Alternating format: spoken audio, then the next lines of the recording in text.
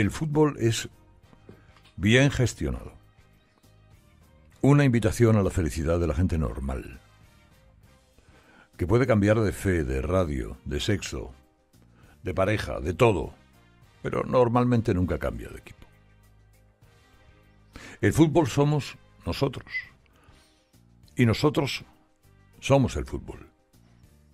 Y hay que conseguir que se parezca a ustedes. ¿Qué es lo que habría que intentar? Y ese partido, si no lo amañan los árbitros, tiene que ganarlo alguien distinto a todos a los que nos estamos refiriendo. Con buen juego, transparencia, decencia, humildad, como ustedes quieran. Miren, yo les he dado muchas vueltas. Se lo confieso. Me he preguntado muchas veces si valía o no valía la pena. Y la verdad les tengo que confesar, con el corazón en la mano, que creo que sí. Es decir, que me voy a presentar.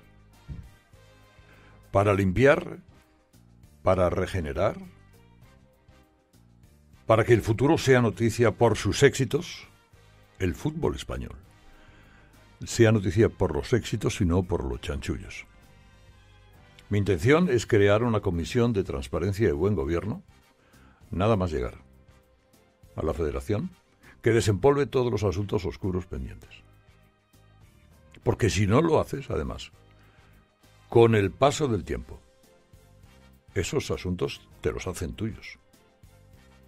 Y que quede claro la responsabilidad de cada cual.